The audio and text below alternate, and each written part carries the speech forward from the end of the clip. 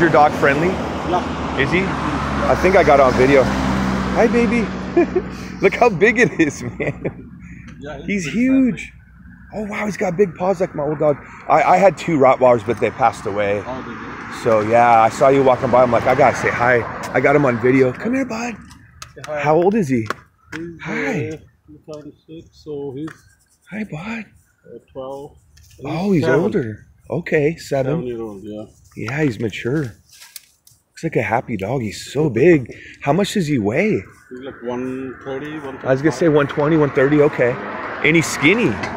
he's my dogs were fat. They they had chunky bodies, but Yeah, they were walk him a old. They were older. Yeah, my I I don't know how old exactly they were, but I think they were like 10. Hank was like 10, and Brutus was a, about the same age. Hi, baby. Good boy. Have you had him since he's a baby? Yeah. Okay. Yeah, you did a good job. Really friendly. Well, thank you for saying, let me say hi, man. I appreciate it. Have a good day. Thank you.